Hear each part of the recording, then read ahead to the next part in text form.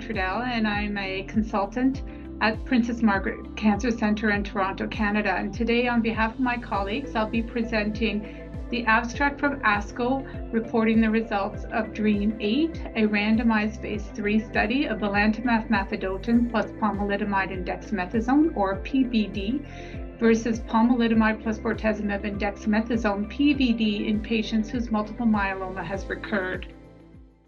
So um, belantamab mafodotin plus pomalidomide and dexamethasone, or PBD, met the primary endpoint of the DREAMM-8 study with a significant reduction in the risk of progression or death compared to PVD in patients who have had one prior line of therapy and including lenalidomide.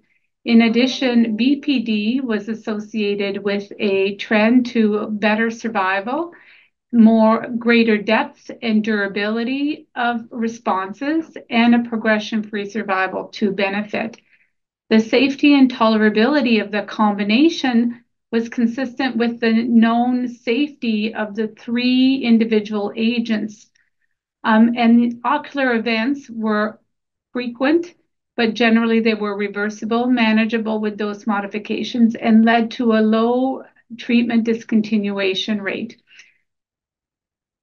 So the premise for the study was based on the fact that patients with newly diagnosed myeloma are being treated with uh, three drugs and sometimes even four drugs, including proteasome inhibitor, immunomodulatory drugs, and anti-CD38 antibodies. So at the time that the disease recurs, they have been exposed to the three major classes of anti-myeloma drugs and many will be actually refractory, we call resistant to these three classes of drugs. And so this really highlights the need for new treatments that incorporate drugs that work in the new by a new mechanism of action.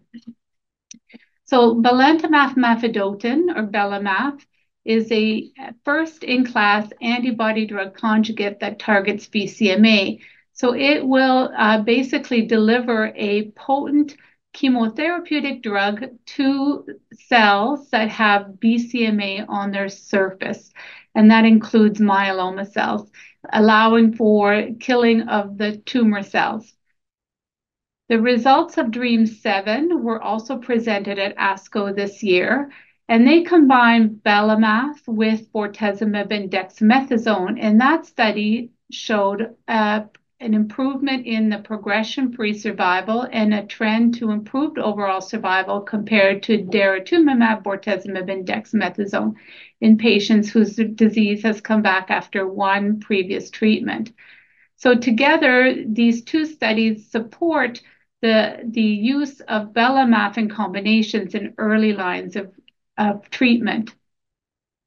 So the DREAMM-8 study enrolled patients who had received one previous treatment where the disease has recurred, and that treat at, least one of the treatments they've received must have included lenalidomide. They cannot have been uh, exposed or have received in the past pomalidomide or an anti-BCMA uh, targeted treatment. And these patients were assigned one to one to receive belantamab mafodotin plus pomalidomide and dexamethasone, or PBD, or to receive bortezomib, pomalidomide, dexamethasone, PVD. And these patients continued on treatment until the disease progressed or they had toxicities, side effects that they needed to come off study, or they withdrew consent. And the primary goal of the study was to see whether or not the patients who were on the BPD arm had a longer progression-free survival, meaning that they had a lower risk of progression or death compared to the patients who received PVD. So 302 patients were um, allocated, 155 to BPD and 150, 147 to PVD. And at the time that we analyzed this data, patients had been followed for approximately 22 months. And at that point, more patients were continuing to receive treatment in the belamaf arm. So 50, So 36% of patients were still on treatment compared to 21% of patients on the PVD arm. And the most common reason for patients to discontinue treatment was for disease progression, 27, 28% in the Bela PD arm and 48% in the PVD arm. These show this table shows the patient characteristic at baseline, and we can see that all the characteristics listed here, age, uh, performance status, um, and various staging assessments were equally balanced between the both arms, and that includes for patients who have uh, high-risk uh, features. In addition, approximately half of the patients had received only one previous treatment. 100% of patients had received lenalidomide, and 81% in the Bela PD arm were resistant to to lenalidomide, and 76% in the PVD arm were resistant to pomalidomide, bortezomib, and dexamethasone, or PVD. In addition, approximately a quarter of patients in each arm were also resistant to anti-CD38 antibodies.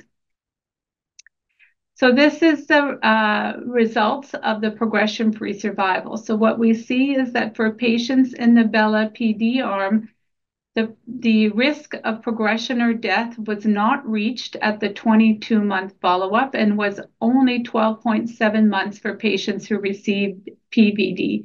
So at one year, 71% of patients in the Bela PD arm were still ongoing, having not progressed, whereas 51% of patients in the PVD arm had progressed. And when we look at various patient characteristics, we see that patients who got Bela PD had a better progression-free survival, as indicated by dots that are on the left side of the dotted line. Even though those patients who have high-risk disease uh, benefited from the Bela PD arm, and those patients who were resistant to lenalidomide, and those patients who were resistant to anti-CD38 antibodies had a better progression-free survival compared to the patients who had PVD.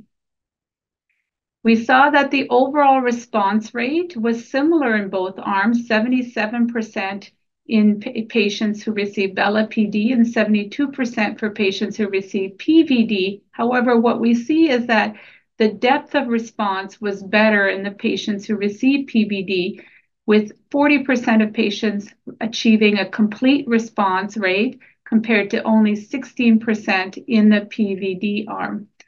Further, more patients in the Bela PD arm who achieved a complete response were found to be MRD negative, 24% in the Bela PD arm versus 5% in the PVD arm. So responses are deeper in the PVD arm.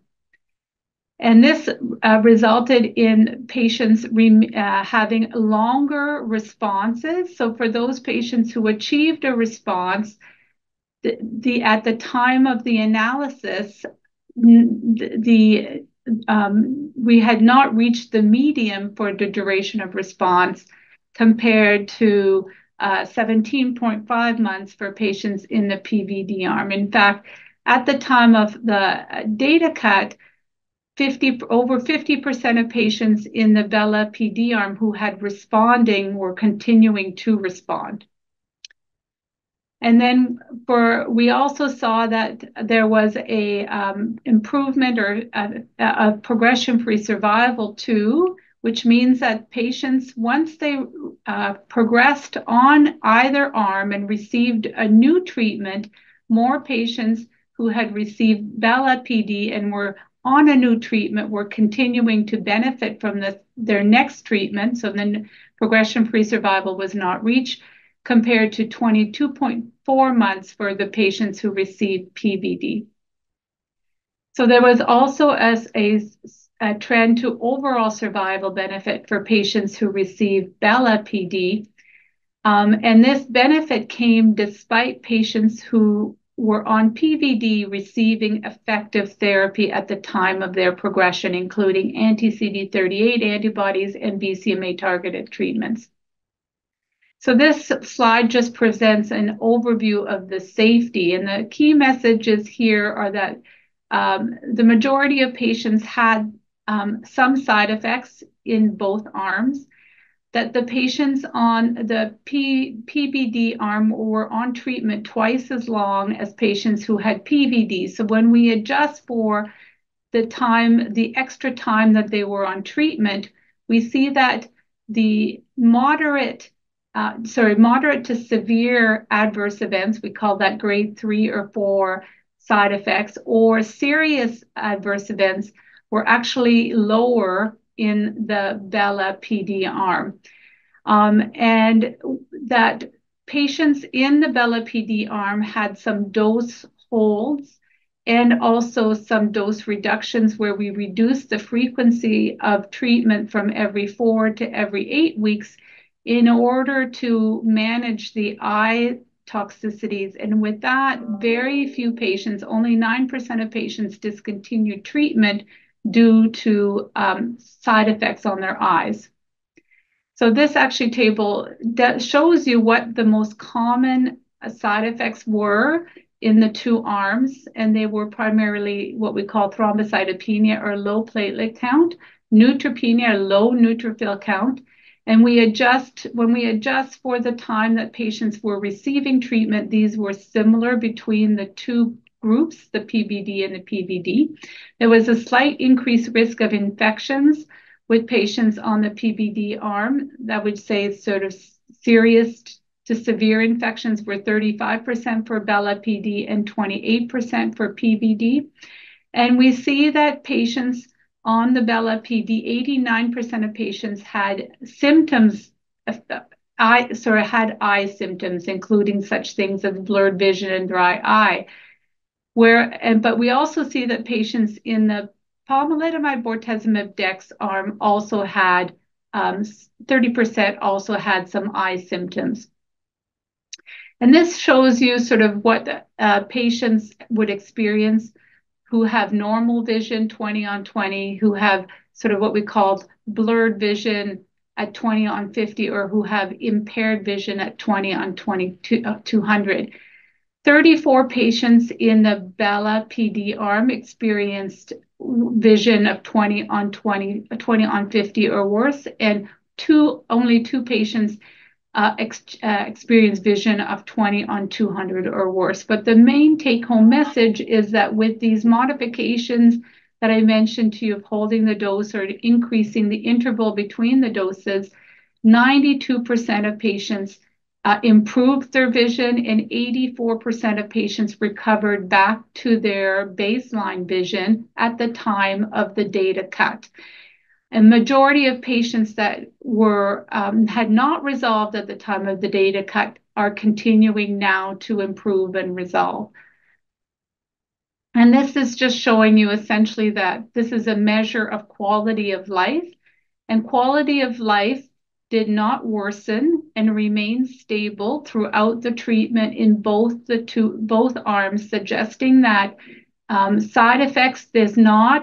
um, differences in side effects did not negatively impact quality of life.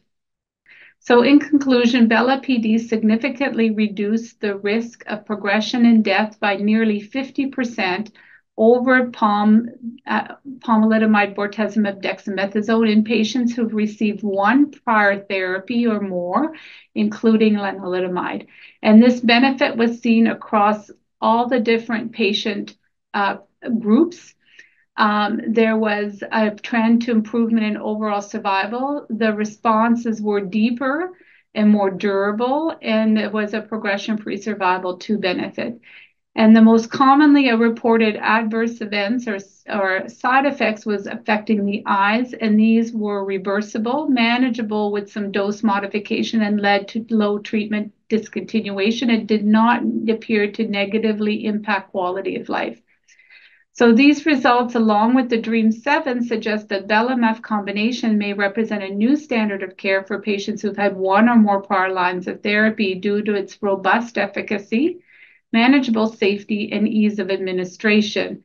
This is a combination that, as we showed, it benefits a broad range of patients, can be given in a community center without the need to go to a specialized center. Um, so these results were published in the New England Journal of Medicine. Um, and you can scan this QR code for a plain language uh, summary of the study. And these are the various uh, institutions and investigators who participated in the study from across the world. Um, and I would like to thank the patients, family, and caregivers who participated in this trial.